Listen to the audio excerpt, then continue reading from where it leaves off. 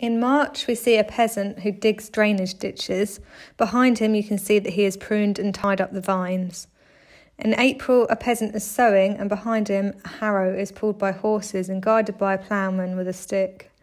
In other labour series, this scene will often appear later on in the year, but crops could have been sown from April.